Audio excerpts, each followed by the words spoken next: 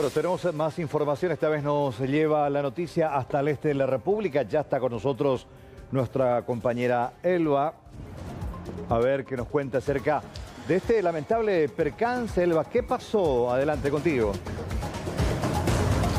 Buenas noches, Carlos. Un motociclista perdió la vida luego de, ser embestido por una camioneta en un estrecho retorno sobre la ruta 2 a la altura del kilómetro 26 de Minga, Guazú.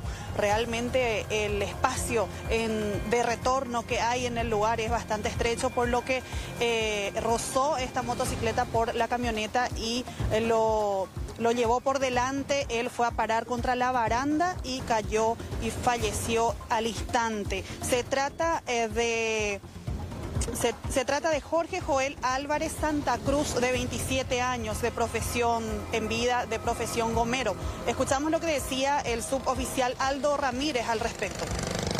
Tenemos como víctima una persona de género masculino identificado como Jorge Joel Álvarez Santa Cruz, de nacionalidad paraguaya, de 27 años de edad, domiciliado acá en el kilómetro 29, lado a Caraí, conforme a los datos que manejamos, eh, o sea, brindados por familiares. Testigos presenciales del hecho no tenemos.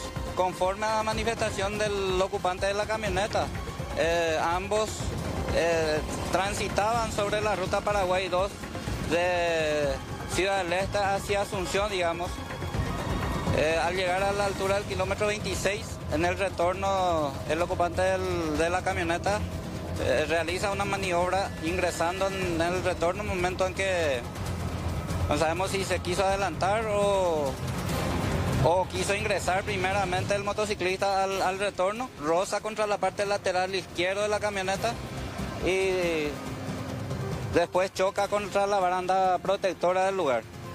Cae el pavimento y prácticamente muere el ahí cae al pavimento y prácticamente ya eh, quedando sin signos vitales. El conductor ya se encuentra en la, subcomisaría en carácter de morado hasta ser oído en, el Ministerio Público. Posteriormente ellos van a saber que...